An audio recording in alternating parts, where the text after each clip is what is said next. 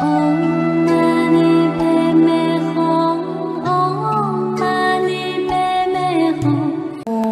Tạng, Bồ Tát, Ma Tát, Kính Đại Tín Chúng Sau khi con đọc thuộc ba phẩm kinh Địa Tạng, Con được Kinh Nhân Quả Luân Hồi tặng cho con ba quyển thường trung Hà.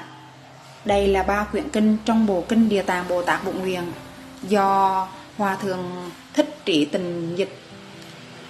Ở đây có đầy đủ lời kinh và lại có hình minh họa rất bắt mắt, sắc nét và sống động, hình ảnh rất đẹp.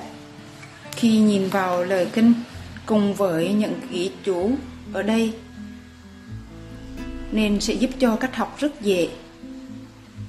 Lại nữa, trong kinh có những hình ảnh làm cho khi đọc cảm thấy nhíp tâm hơn vì minh họa đúng như ý kinh.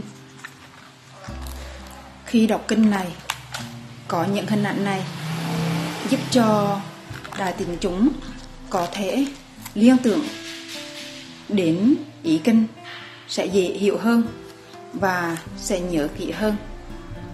Ví dụ ở đây có những hình ảnh trong bộ kinh ở địa ngục rất là sống động và kinh khủng làm cho người đọc ấn tượng và dễ hình dung. Bộ kinh gồm có ba quyển, thường, quyển trung và quyển hà. Trong quyển trung, những hình ảnh rõ ràng về địa ngục. Khi đọc đến đây, con giật mình, tỉnh thức, sợ không dám làm việc khác nữa, mà luôn luôn nghĩ đến việc thiền có những địa ngục rõ ràng ghi tên, ví dụ địa ngục đá át tỳ.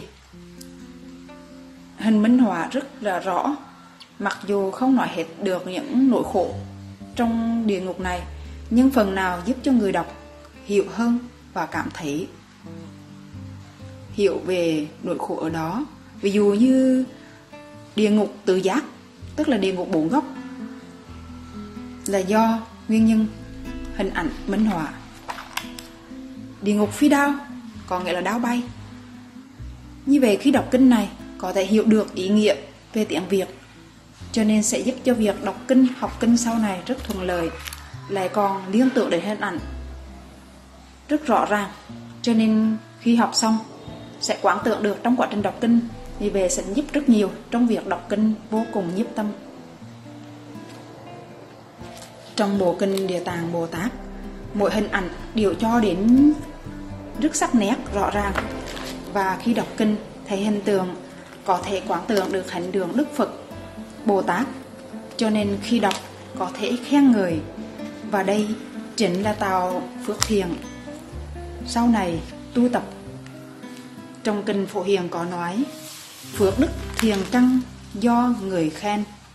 Vì vậy, việc người khen trong quá trình đọc kinh đó là một điều cực kỳ tuyệt vời. Xin chúc đà tình chúng có được những quyển kinh tuyệt vời như thế này để tu tập quán tượng dễ hơn. Xin cung kính đa tạ nam mô đại nguyện địa tạng vương bồ tát. Xin đa tạ đại tình chúng đã lắng nghe. Ha ha ha, un sam so ha.